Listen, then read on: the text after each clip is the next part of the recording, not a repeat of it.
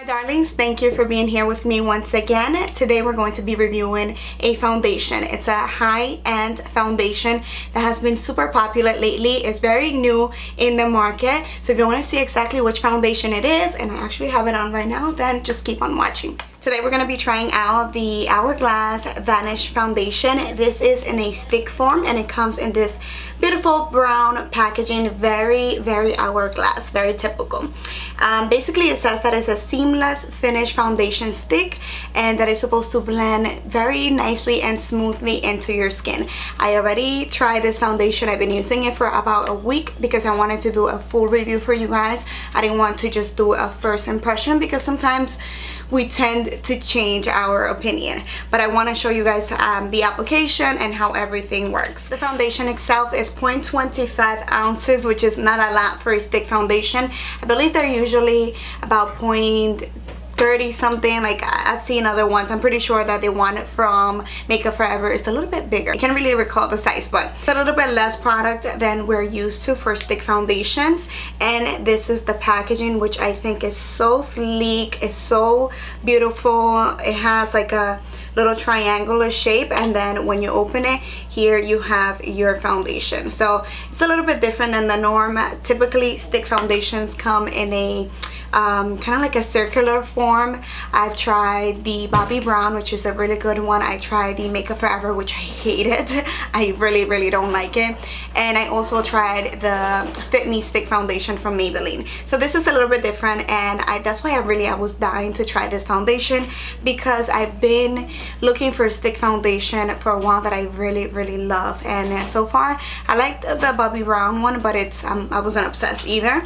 Um, so I wanted to give this a try. So let's go ahead and try it in front of the camera so you guys see how it blends. By the way the color that I'm trying or that I'm using is golden amber and this is a swatch. It looks a little bit dark on me as you can see it there but once it's blended into my skin it blends perfectly. It's a very um, golden undertone a very yellowish undertone like myself so that's definitely fine. I typically match my neck which is a tiny hint darker than my face so I I like the color so far. So you guys let me know if you think it's too dark for me, but I like it so far. The price point is $46, a little bit expensive for the product, the amount of product that you get, the 0.25 ounces, but it is a typical price point for a high-end foundation. So let's go ahead and apply it to the skin. For one side of the face, I'm going to be using a brush, and for the other side, I'm going to be using a beauty blender so you guys can see the difference.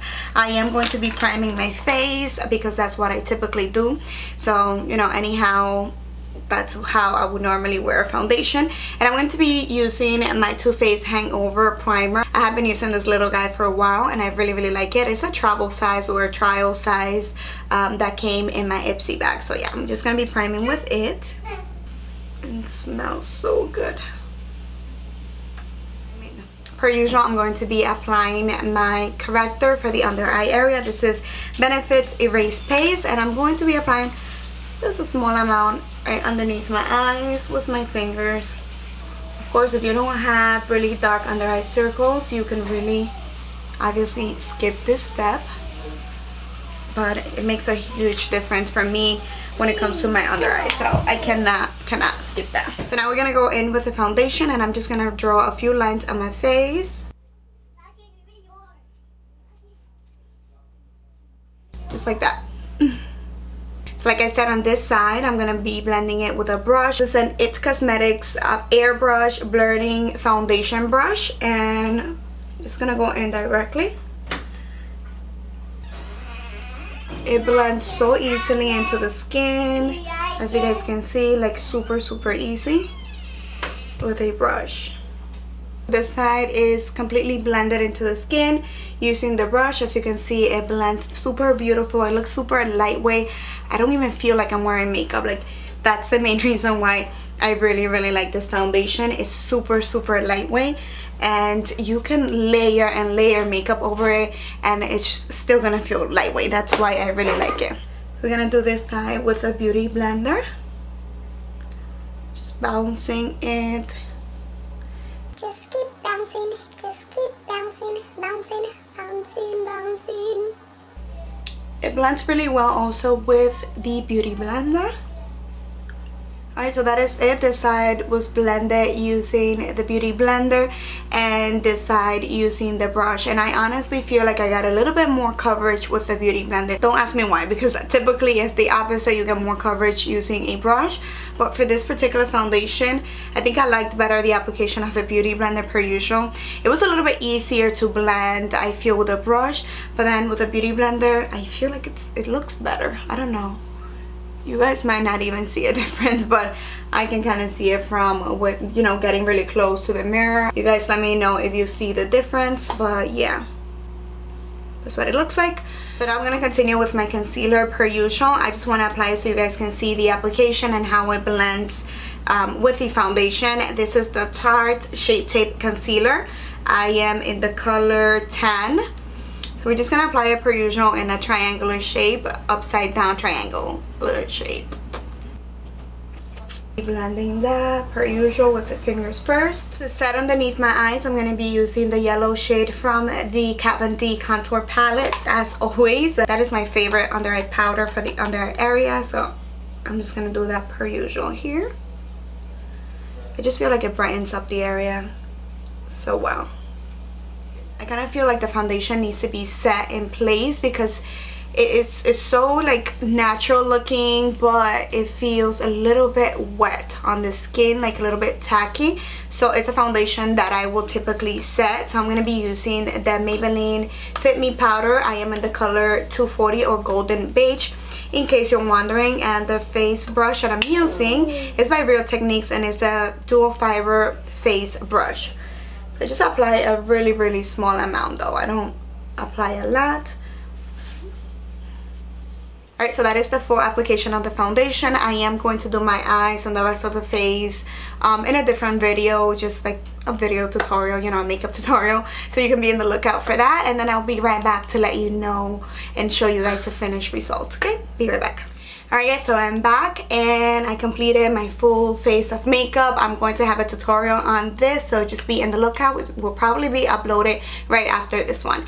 So my final thoughts. I love this foundation. As you can see, everything every single product that you apply over it blends beautifully. It's a very nice canvas for any product. Like the bronzer goes on super smoothly. The um, blush the highlighter everything. I really really adore this foundation.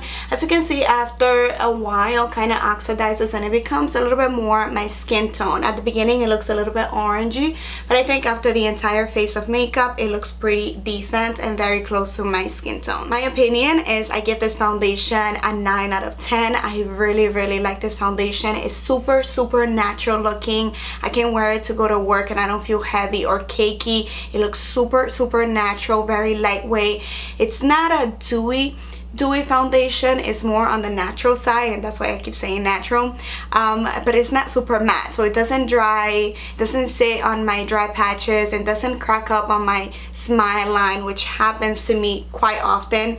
And it's just beautiful. It blends so easy. It is the first first foundation in a stick form that I am obsessed with. So I really really recommend it. Yes it is on the pricey side $46 it's a little pricey but I totally think it's worth it. Like you get what you pay for. Like I mentioned before the only cons and the only reason why I don't give it a 10 is because it is a, a pretty cheap size amount that you get. You get 0.25 ounces of product in here, which is a little less than the normal. But then again, I mean, you don't need a ton of foundation to get a full coverage on your face. So maybe, you know, it's... Mm. And then the other reason why I don't give it a 10 is because I do feel the need to set the foundation. It doesn't totally bother me like I'm okay with setting my foundation. I'm used to it lately.